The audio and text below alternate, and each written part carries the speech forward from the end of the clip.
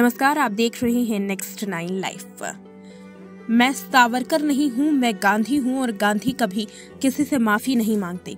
ये शब्द है राहुल गांधी के। जब राहुल गांधी पहली बार प्रेस कॉन्फ्रेंस करके सामने आए तो अपनी सांसदी खत्म होने पर केंद्र सरकार पर तगड़ा हमला किया।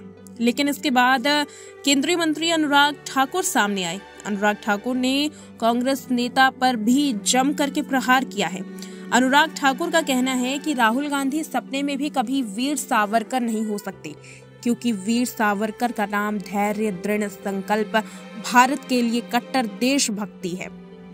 अनुराग ठाकुर ने यह भी कहा कि वीर सावरकर ने ना तो साल में छह महीने विदेश में छुट्टियाँ बिताई हैं और ना ही उन्होंने विदेशी शक्तियों से हस्तक्षेप की मांग की है।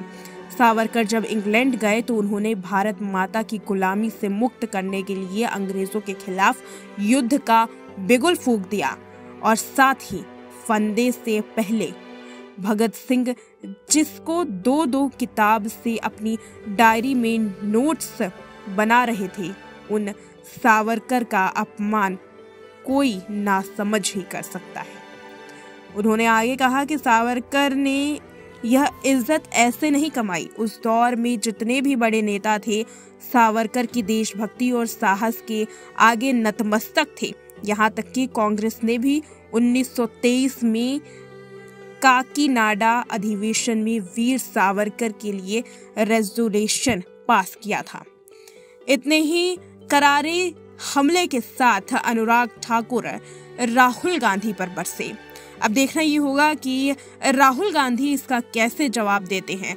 फ़िलहाल आपको बता दें कि इस पूरे मामले में जिस तरीके से सांसदी खत्म राहुल गांधी की की गई है, उस पर कई सवाल खड़े होते हैं। सवाल इसलिए खड़े होते हैं क्योंकि अभी राहुल गांधी के पास तकरीबन 28 से 27 दिन का समय है, जब एक बार फिर से वो हाई कोर्ट या सुप्रीम कोर्ट का रुख कर सकते हैं। ये पूरा फैसला जो है, वो बदल सकता है। ऐसे में क्या जल्दबाजी नहीं की गई है राहुल गांधी की सांसदी खत्म करने को लेकर?